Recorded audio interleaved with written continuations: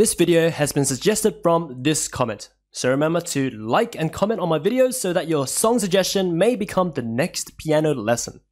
Also, only about 10% of you who watch my lessons are subscribed, so if you enjoyed or learned something from this video, please consider subscribing. It's free and you can always undo it later. Anyway, let's get right into the lesson. Hello guys, this is Amosdoll Music and in today's lesson I'm going to teach you how to play Goat by Polyphia. Okay, I'll be teaching you how to play that super awesome riff that plays throughout the song. It goes like this, give you a preview before we start learning it.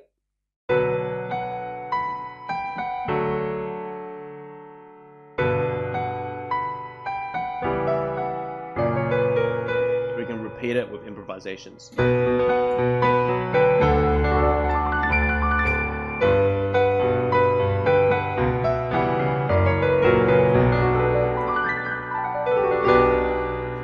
Alright, let's get right into it. So melody and block chords, that's the foundation. And then you're gonna add improvisations and decoration patterns to make your own personal like flair afterwards. Alright, so here we go. Let's learn it. Let's break up to two parts it's easier to learn. So the first part right starts on the B, middle C, go up to B, to B, up to F sharp, up to B, down to G, F sharp. That's it for the first part. Pretty simple. And the first part is easier than the second part. Let's do it again. It goes B, up to F sharp, up to B, G, F sharp. Alright, so that's the right hand for the first part, five notes. Left hand we have two chords. Two chords are B minor, which is B, D, F sharp, and D major, which is D, F sharp, A. So these two chords in mind, so B minor and D major, the two hands together goes like this, B and B minor together. After F sharp, D major by itself. That's it. One more time, so together. Yeah. That's it for the first part. Moving on to the second part, right continuous goes B, F sharp, B, G, F sharp, E, F sharp, and then down to D, C sharp, B, A sharp, B. That's it for the right hand. One more time, so it goes B, F sharp, up to B, G, F sharp, E, F sharp, down to D, C sharp, B, A sharp, B. That's it for the right hand. Left hand, two, uh, three chords here. The three chords are G major, which is G, B, D.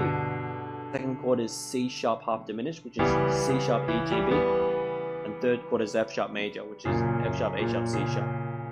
These three chords in mind, so G major, C sharp half diminished, and F sharp major. Turn together goes like this, B and G major together. After F sharp chord by itself, D and F sharp major together. That's it for the second part. One more time, goes together. Here, together. Yeah, the second part's pretty awesome. Alright, so back to back the two parts of learned this lesson will be played like this.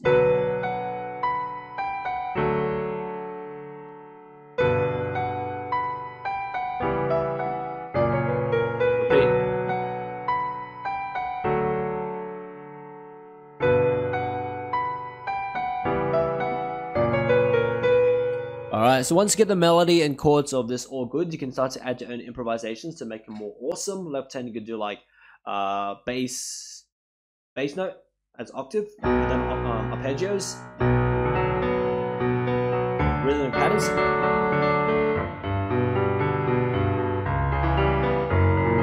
That kind of thing. And then the right hand you can harmonize based on the chord to make it thicker in texture, so it can be like